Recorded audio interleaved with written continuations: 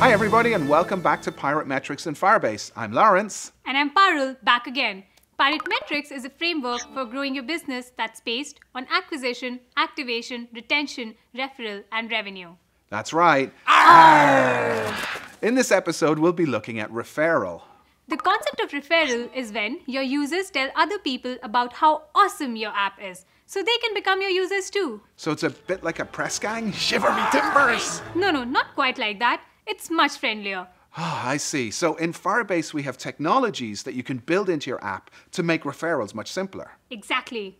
Research has shown that the number one reason that people discover an app that they install is through word of mouth from someone they know and truly trust.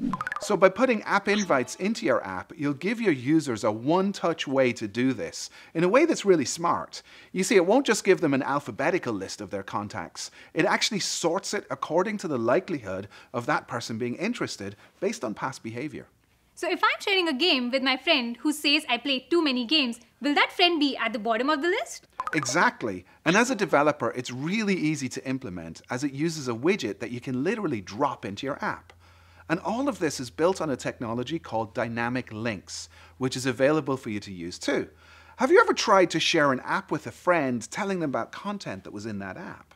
Like a recipe for sea biscuits. I have to call my friend, tell them to go to the Play Store, find the app, do you know how many recipe apps there are? And then once they've found it, they need to install it. And by the time they've installed it, I've forgotten what the recipe was. That's a lot of friction. And dynamic links are all about saving you from that. You'd simply create a dynamic link to the Seabiscuit recipe and... And once my friend opens it, if they have the app, they'll go straight to the recipe. And if they don't, they'll get taken through the install flow and still end up with the recipe. That's pretty clever. Yes, it is. Not bad for a scurvy landlubber, eh? Learn about other ways that you can use Pirate Metrics to improve your app business. And don't forget to hit that subscribe button. I think it's dead. no, it's not.